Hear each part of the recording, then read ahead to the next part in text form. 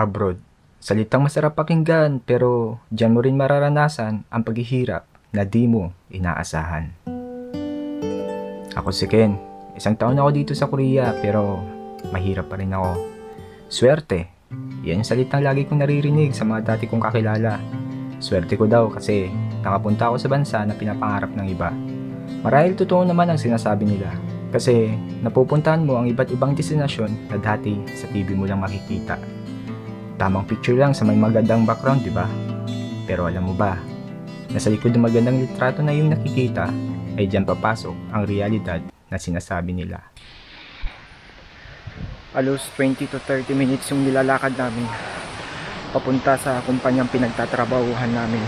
Mas maagang pasok namin kaysa sa iba. Kailangan kasi naming ayusin ang makinang gagamitin. Napasok pala ako nakaraan. Ito yung paso ko. Yan, medyo dry na siya. Dito pala ako napasok. Medyo mainit to eh. Mainit siya. Kasi ito yung nagsisil dito. Kailangan medyo mabilis dahil isang oras lang ang preparasyon para umpisahan ang produksyon.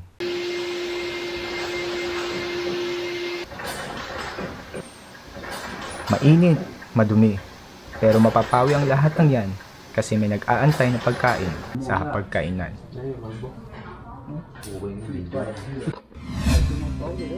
Natapos na naman ang isang linggong trabaho. Hindi naman masama kung lilibangin mo ang sarili mo.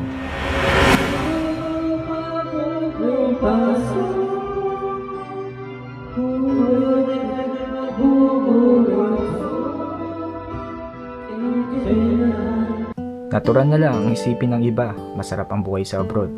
Pero ang realidad, nandun ang salitang ayoko na. Kunting tiis na lang, miss ko na sila. Pero lahat ng yan ay kakayanin pa dahil ang kapalit niyan ay ginhawa at mabigyan ng magandang buhay ang pamilya. Pamilya na nagbubuklod saya, pamilya na pumapawi ng lungkot at pangungulila. Pamilya na siyang dahilan kung bakit matatag ka at pamilya na nagbibigay sa iyo ng tibay at lakas para lumaban pa. Swerte nga ba kung maituturing kung lahat ng paghihirap ay kaya naming tiisin? Ako si Kenjun Castro at ito ang aking kwento.